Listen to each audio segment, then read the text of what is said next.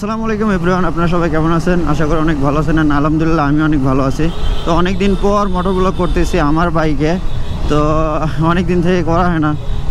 বাইকটাও নষ্ট ছিল এখনও নষ্ট আছে আমার যে সুইচটা কাজ করতেছে না ভালোভাবে। মানে ঘাড় লকটা ভালোভাবে হচ্ছে না। হলেও আবার খোলে না এরকম এই অবস্থা। আজকে বৃহস্পতিবার দুপুর, দুপুরবেলা বের হয়েছি। এরকম রোদের ভিতরেই পাঁচটা বাইক নিয়ে যাচ্ছি। সামনে তিনটা বাইক দেখতে পাচ্ছেন, পিছনে আরেকটা বাইক আছে। তো আমরা পাঁচটা বাইক নিয়ে দুপচাচিয়া ধাপের হাট। আমাদের উত্তরবঙ্গের ঐতিহ্যবাহী একটা বড় হাট দুপচাচিয়া ধাপের হাট। আপনারা অনেকেই চেনেন অনেকেই চেনেন না ওইটা নিয়ে অনেক ভিডিও হয়েছে। আমি সেই রকম কোনো ভিডিও করতেছি না এমনিতে জাস্ট নর্মাল মোটোব্লগ করতেছি আমরা। ওইখানে যাচ্ছি দেড়শো একটা ভিডিও করতেছি। আমরা ওইখানে যাব দুপুরবেলা লাঞ্চ করতে।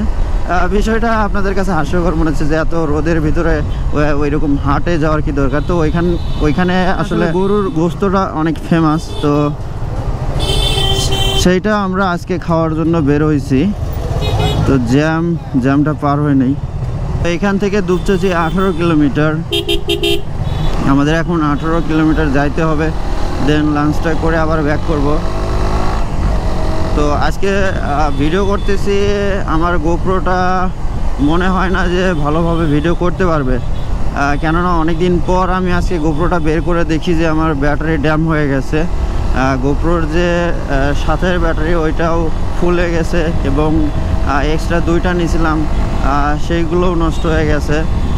আমি বুঝতেছি না আসলে এই ব্যাটারিগুলোতে ভিডিও কেমন হবে। অনেকের কাছ থেকে শুনছি যে গোপ্রোর ব্যাটারি ফুলে গেলে ভিডিও তেমন একটা ভালো হয় না। তো এইটা আমি জানি না এই ব্যাপারটা কীরকম। তো ভিডিও করতেছি, যদি ভিডিওটা হয়ে থাকে, তাহলে তো অবশ্যই আপনারা দেখতে পারবেন।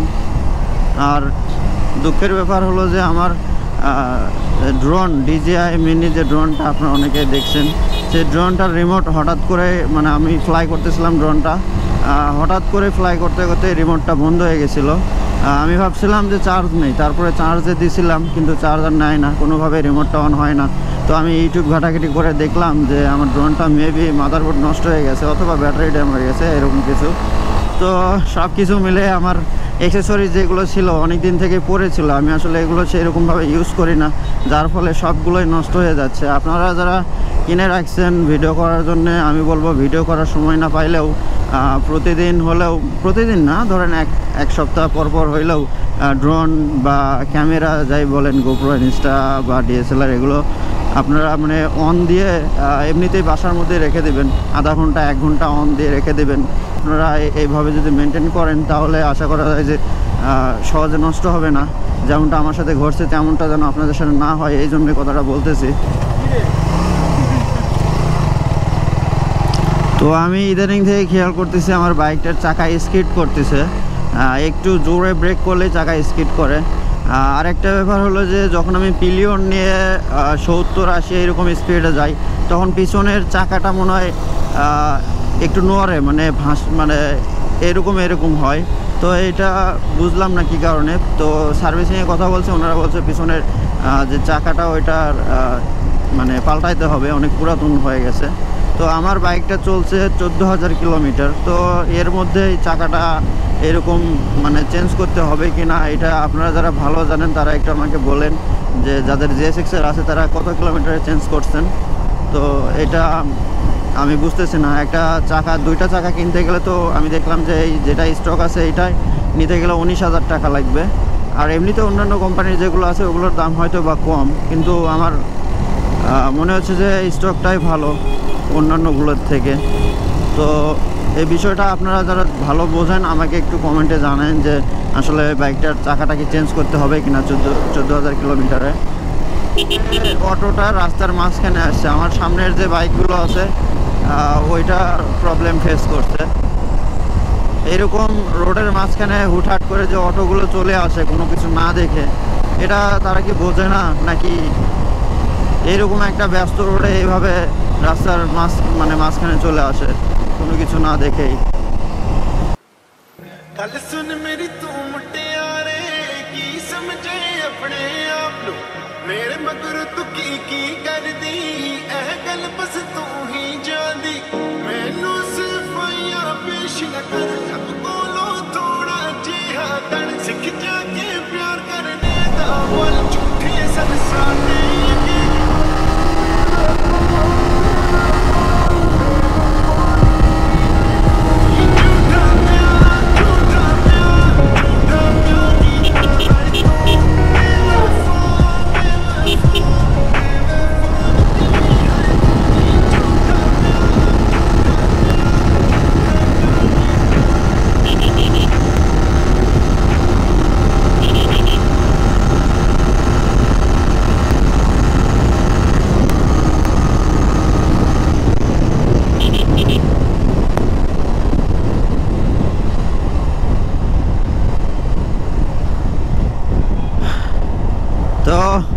অনেক দিন পর বাইক নিয়ে বের হয়েছি। তো একটু পাঁচ গিয়ারে টানাটানি করলাম। তো আপনারা দেখতে পাচ্ছেন যে পঁচিশ, ছাব্বিশে গিয়ে এরকম লক হয়ে গেছে। তো এটা কি আপনাদেরও হয় কি না আমি জানি না। আসলে জিএসএক্স এর ফাইভ গিয়ারে কত পর্যন্ত ওঠে এটা আমি সঠিক জানি না। ইউটিউবে অনেক ভিডিও আছে বেশি ওঠে বাট অনেকে কি করে স্পকেটটা ট্রেনের যে সামনের স্পকেট, এটা নাকি স্পকেটের যে দাঁত, কোনোটার তেরোটা, কোনোটার পনেরোটা, এটা কম বেশি করলে নাকি স্পিডটা এরকম ফেক ফেক স্পিড শো করে মিটারে মানে বেশি স্পিড দেখায়। তো এইটা আমি জানি না কতটুকু সঠিক এখন। তো আমাদের একটা রাইডার রাব্বি ভাই, এবং পেছনে আছে সুমন মামু। রোডটা অনেক বিজি আসলে, এখানে অত টানা ঠিক না। গাড়িটা অনেক জ্যাম হয়েছিল অনেক দিন থেকে এভাবে টানা হয় না। মানে এরকম স্পোর্টস বাইক আপনারা যদি আবার দু একদিন না টানেন বা যদি মাঝে মাঝে না টানেন, তাহলে স্পিডটা মনে হয় মনে হয় যে গাড়িটা জ্যাম হয়ে যায়। অনেকদিন পর যখন এমন যে বাইকটা চালাচ্ছি, মনে হচ্ছে যে বাইকটা অনেক জ্যাম হয়ে গেছে। আমার কাছে তাই মনে হচ্ছে। তো যখন আপনি হান্ড্রেড ওভার করবেন বা ওয়ান টোয়েন্টি ওভার করবেন, তখন মনে হয় যে না, এখন ঠিক আছে। তো যাই হোক, আপনারা সেফলি রাইড করবেন।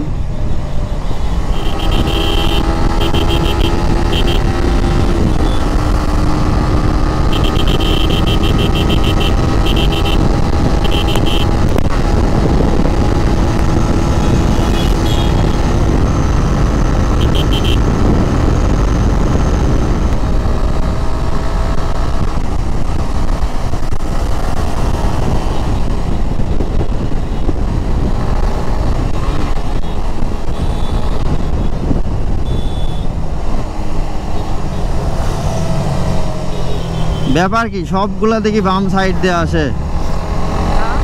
সবগুলো বাম সাইড দিয়ে আসতেছে অ্যাক্সিডেন্ট হবে না। ওভার করা লাগবে ওভারটেক করা লাগবে ডান সাইড থেকে। সবগুলোই বাম সাইড থেকে আসে। এই দুটাই এই দুটাই। এই দুটো সাবরি রাইডার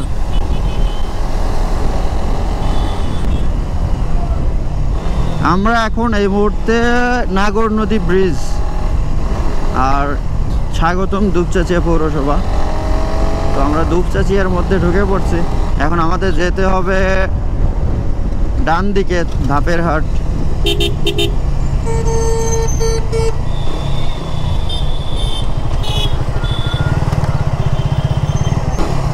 এইরকম গরমের মধ্যে, এইরকম ধুলাবালির মধ্যে বগুড়া থেকে ধাপের হাট আসলাম গরুর মাংস দিয়ে ভাত খাওয়ার জন্যে। তো আপাতত ক্যামেরাটা হয়তো অফ করতে হবে, কেননা বাইকটা গ্যারেজ করতে হবে। তো এই যে আমার ডান সাইডে যে নদী দেখতে পাচ্ছেন।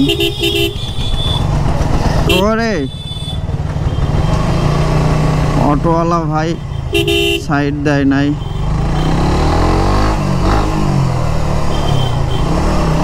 তো এই তো নদী অ্যান্ড নদীর উপরে হাটটা। ড্রোন আনলে হয়তো বা ভিডিও করে দেখাতে পারতাম বাট আমার ড্রোনের রিমোটটা নষ্ট হয়ে গেছে।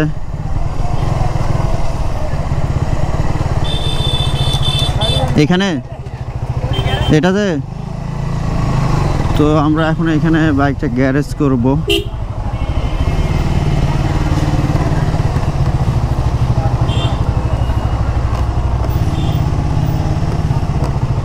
A few moments later. আমরা অলরেডি হাটের মধ্যে চলে আসছি। তো হাটটা অনেক বিশাল।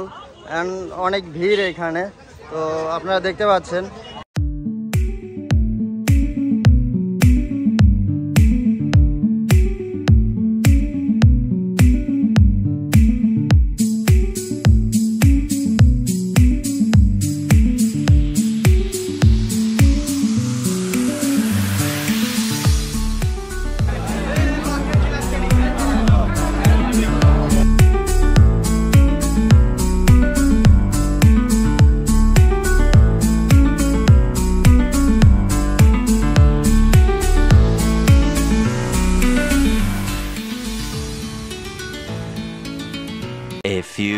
moments later.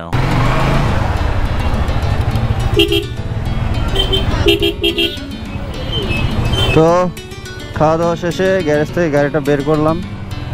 সবাই রেডি একজন সামনে গেছে আর বাকি সবাই পিছনে।